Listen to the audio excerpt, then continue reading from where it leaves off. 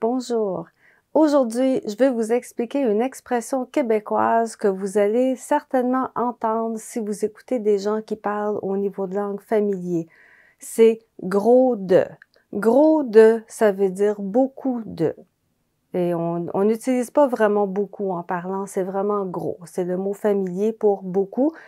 Et vous allez entendre grode ou grotte. Parce que gros de, on va juste dire gros de. Donc, il y a gros de monde. Gros de monde, gros de monde. Ça veut dire beaucoup de monde, beaucoup de gens. Gros de monde. Je peux dire, il y a gros de neige, gros de neige, gros de neige, ou il y a pas gros de neige, ou il reste pas gros de neige. Ou je peux dire aussi, quand je fais la cuisine, ça fait gros de vaisselle. Il y a gros de vaisselle. Gros de vaisselle, ça veut dire beaucoup de vaisselle. Il y a gros de vaisselle. Donc ça, c'est gros et maintenant grotte, parce que si on enlève le E, puis que c'est une consonne non voisée qui suit, le D devient T. C'est comme pas de problème au lieu de pas de problème, même phénomène. Donc, je peux dire, je mange euh, gros de chocolat, gros chocolat. Je mange beaucoup de chocolat. Je mange beaucoup de chocolat. Je mange gros de chocolat. Gros de, gros de chocolat.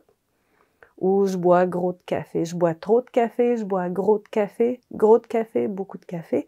Et il y a gros de problèmes. Il y a beaucoup de problèmes. Il y a gros de problèmes. Donc, gros de monde, gros de neige, gros de vaisselle, gros de café, gros de chocolat, gros de problèmes. C'est tout.